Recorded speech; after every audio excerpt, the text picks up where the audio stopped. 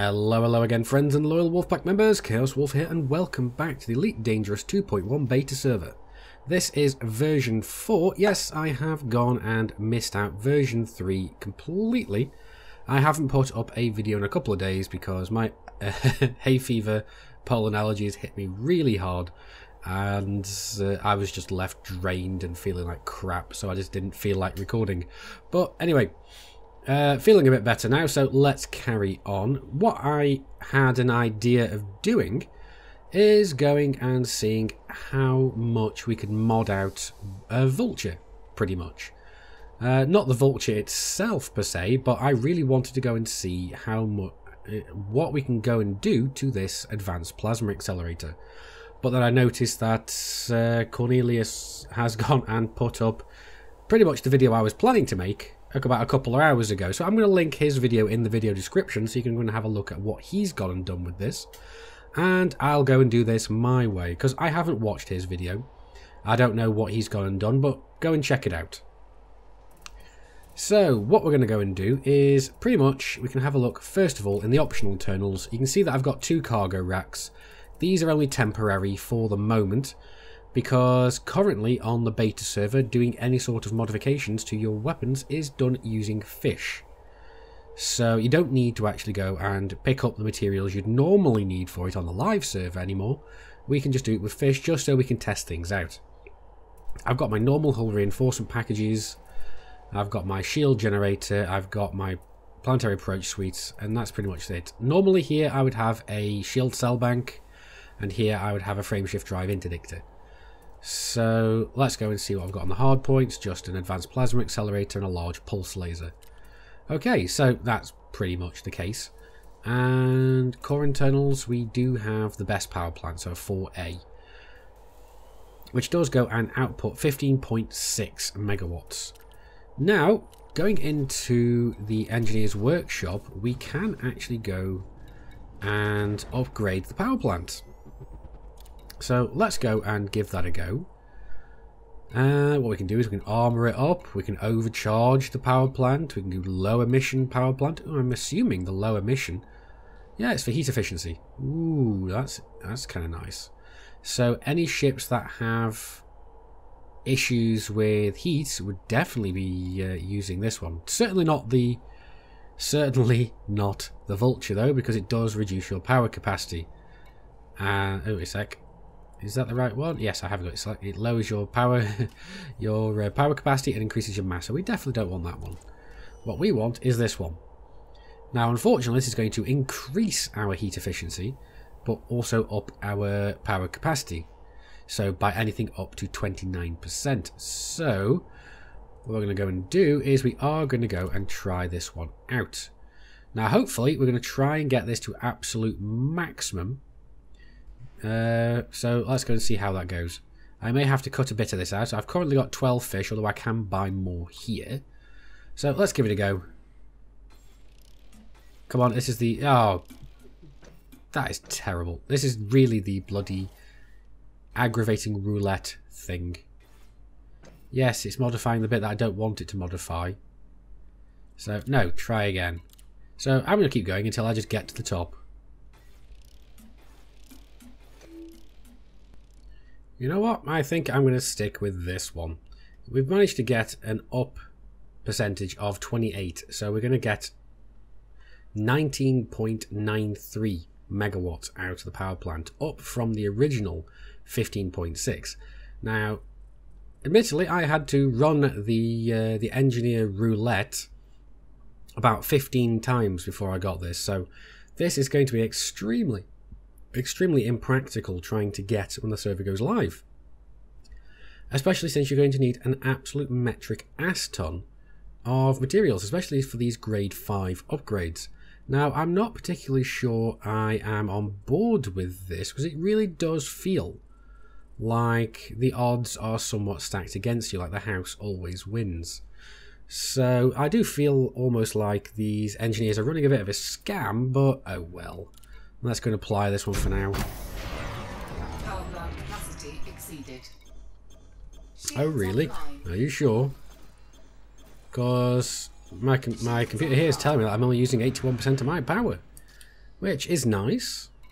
So that's really good. Like I said, we've gone up from the normal amount of power that we were outputting and we've gone up hugely. I mean, let's go and have a look. It was 15.6. Uh, let's go to the outfitting department. There we go, 19.93. We're just shy of 20 megawatts now. So that's almost a four and a half, well, 4.4 megawatt increase. So that's not bad at all. So what does this mean we can do? This means we can go and put a lot more stuff onto this vulture. I mean, theoretically, I'm curious to see. Let's go back into the outfitting department. Uh, optional internals, shield generator. Uh, where are the shield generators? Here they are. Here we go. Prismatic shields. Yeah, theoretically, we could have a prismatic shield generator on the ship now with a plasma accelerator. So that's insane.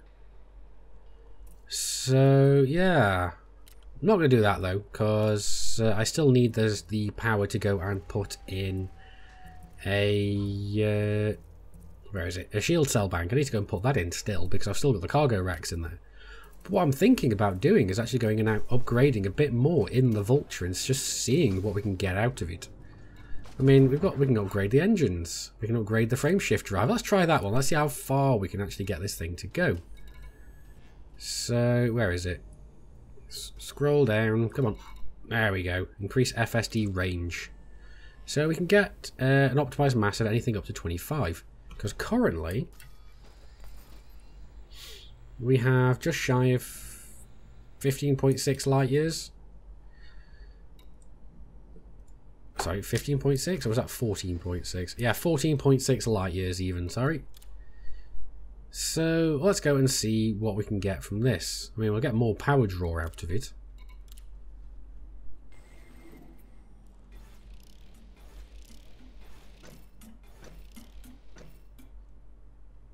Yeah, I think I'm going to stick with that one. 25% increase? Yeah, I'm not complaining. And the opt- Oh, holy crud, that's gone all the way to max. Okay, yeah, no, apply. I'm not complaining. No builds ever come out the same. Yeah, only because you're probably doing it your eyes closed, matey. But let's see. 18.55 light year jump range. Holy crud. And that's with the tons of fish that I've got on board. I wonder what that's going to end up being after.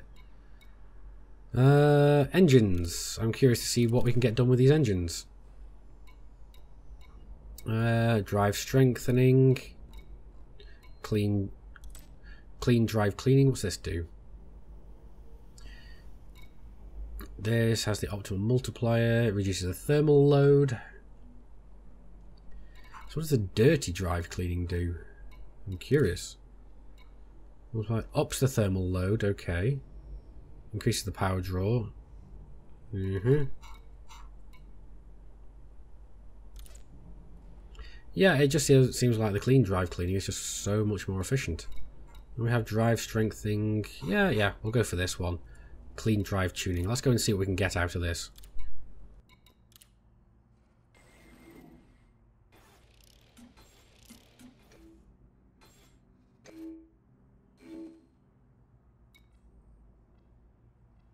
Yeah, I'm happy enough to go for this one. 14% more optimal multiplier and 39% less thermal load. Yeah, fine, I'll go for that one.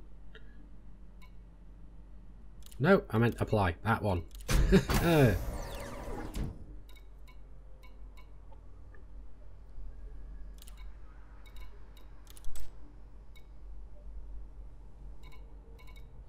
And now it's time to go and reinforce those shields. So what we're going to get, we're going to get a change to regenerate and a change to broken regenerate. Okay, but everything else is going to be going up. So yeah, that's fine by me. Let's go and optimize this then. Huh, this is kind of interesting. Our broken regenerate has gone all the way down, so it's going to take a while for our shields to come back up from broken, but the actual regenerate itself has gone up. So just regenerating the shields, and that just came from this one here. So, you know what? I think I'm going to keep this one, even though we're only halfway on the power here and the optimal strength. Well, not even halfway, only a third there. But I think I'll keep this one. And now I think it's time to go and tinker with the plasma accelerator. What can we go and do with this? What I'm thinking of doing is changing the weapon efficiency so it generates a lot less heat so I can fire it more often. Uh, the damage per second is going to go potentially down. Rate of fire is going to go a little bit down maybe, but it's an advanced plasma accelerator. I really don't mind. Damage is most likely going to go up a little bit. Power draw is going to go down. And distributor draw is going to go down. So yeah, I think this is the best one to go for for this particular weapon. Yes, let's spend one ton of fish. Well, the thermal load's gone down hugely. Damage has apparently gone down, but distributed draw has gone down massively.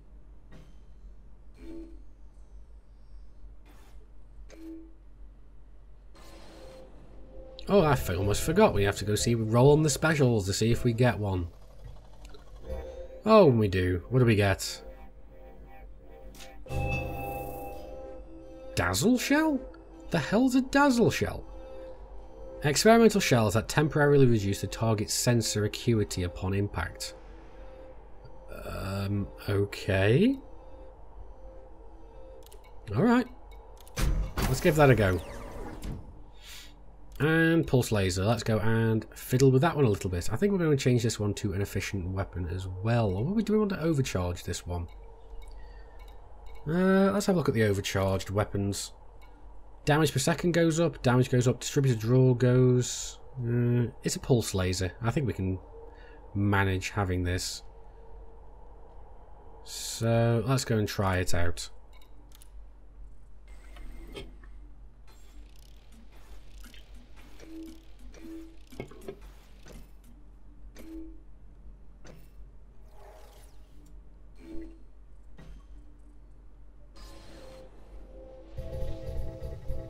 Uh, do we? What do we get for this one?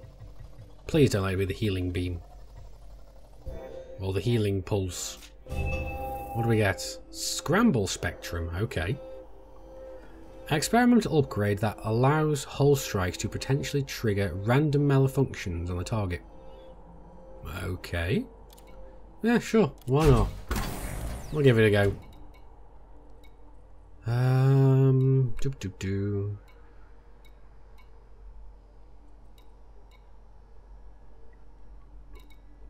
You know what? I'm kind of happy having this as is at the moment. So let's go back into the outfitting department, put a few odds and ends back in the ship and see how it goes and uh, performs. Okay, well, first thing I've noticed straight off the bat is that the cruise speed is actually a lot faster. The top cruise speed uh, previously was about 244 meters per second, and we're quite comfortably breaking that into the 270s mark. Uh, I don't know what the boost speed is. Apparently the previous boost speed was around about 395 meters per second. Let's go and check that out now. Whoa, 425 all but the kicking and screaming there.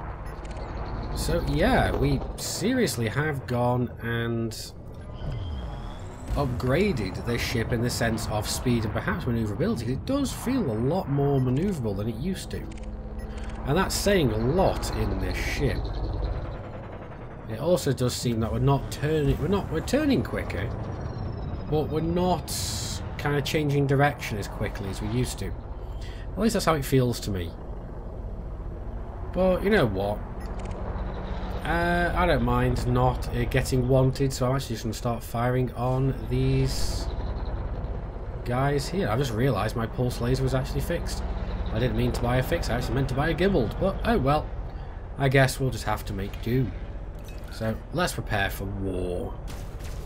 Oh, and we have a blue pulse laser now. That looks weird.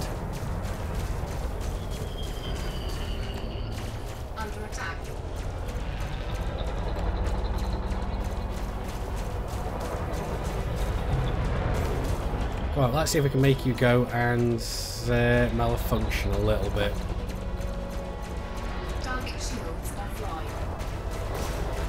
Oh, we have blue plasma as well.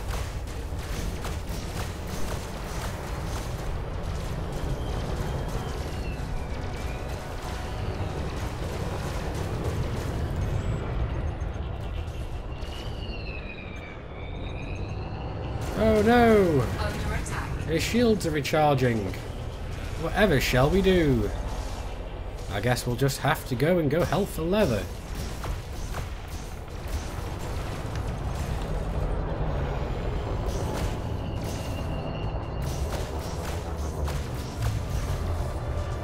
That does feel really weird.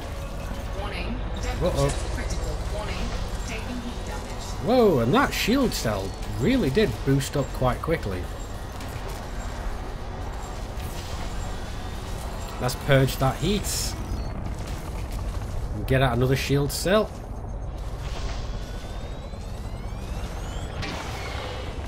Heat sink deployed. Scan detected.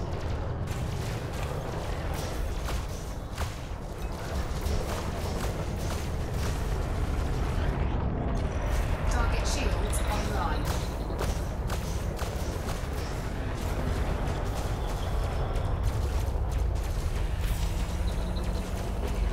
Target shields offline. Warning. Temperature critical.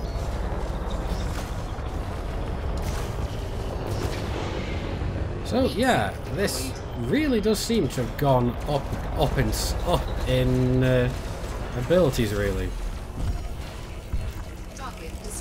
Let's get the hell out of Dodge. So yeah, now my shields are down, they're actually taking a longer ass time to go and recharge, even more than they usually should. But then again, that's going to be part and parcel of uh, upgrading them. Now, I did start malfunctioning left, right and centre, whether that was to do with the police using the malfunction weapons, or whether there's some inherent issue after I have modified the ship, that's another issue. But we got away. Uh, it did take a little bit of finagling and finagling to get the hell out of there, but we managed it. But overall, as we can see, if we go back over to the modules, we've still got power to spare. So theoretically, th this is really insane what we've actually enabled the ship to be able to do. Because even with just the power plant upgrade, that gives you so much more potential to this ship.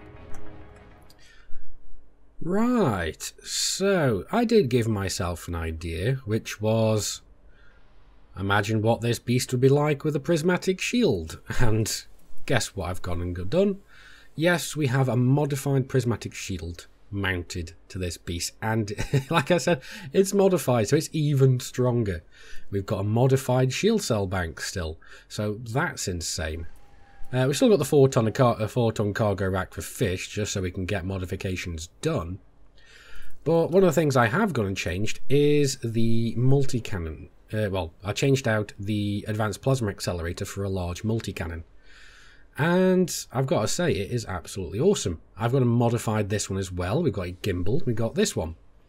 I swapped out the fixed pulse laser for a gimbal pulse laser because I, like I said, I completely didn't realise that I'd bought a fixed one. So we can go and try this one out as well.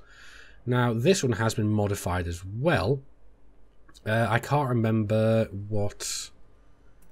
Let's go find out what modification it has on there at the moment, because I can't quite remember at all. So let's go to... where is it? Pulse laser, here we go. It's an overcharged weapon. And here we go, I've just found out where it is. It was actually under here, under modifications. Right, that was nice to know. We've actually got emissive munitions on the laser, which I find rather strange, considering the fact that the laser technically doesn't use any ammo. But yeah, so it's going to significantly amplify its signature. Uh, the uh, the uh, cost of increased heat generation. Eh, well, we'll see how it works. So yeah, but it is basically overclocked, pretty much. It's got more mass, it's got more damage per second, more damage, more and a higher rate of fire. So I'm really curious to see how well that actually works. So yeah, let's go and test this little bad boy out. I'm really curious to see how well it works. But it's just absolutely awesome because we've gotten a much faster cruise speed, boost speed, jump. Well, I've got a slightly better jump range. This it's just become a completely different animal, really. But let's go and see how this does in a spot of combat. Oh, look at this. The one wanted target. and he's in the hall. This is going to be a fair fight, isn't it? But let's go and see how well this works. As you can see with my multi-cannon, I have actually gone and upgraded the ammo capacity. So instead of 90 shells in the multi-cannon itself, we've gone and gotten 173. This isn't even maxed. It's pretty close to it, but oh well. So let's give this a go. Again, blue laser. And uh, this guy doesn't even stand a chance, does he? Now, do we have anything else we can go and shoot? Because I want to go and blow things up, and I want to test this out a bit more, but we need things to actually be able to shoot at. You're not going to be wanted, are you? No, you're not. Let's actually go and shoot you down. Because like I said, this is beta. I don't care about getting wanted. But as you can see, this ship just seems so much more mobile.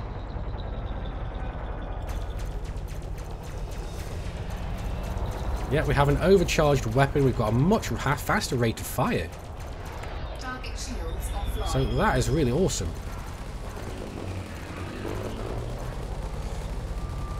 And we can just keep firing and keep firing.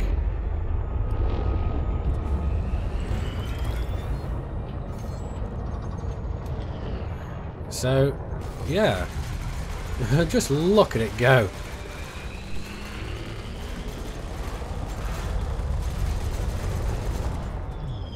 Come back here, you.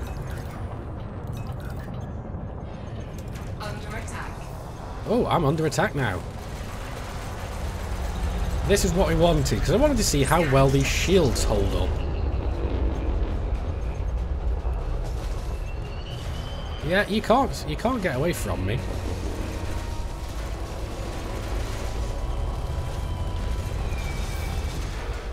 Oh, there we go. Target destroyed. So let's get these shields back up.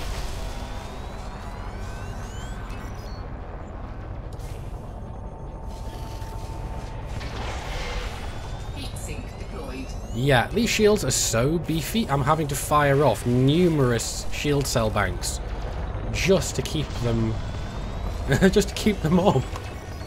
This is insane. So let's try this. Yeah, this is totally doable. And let's actually start using the chaff, which I keep forgetting about. Now just look at that amount of damage.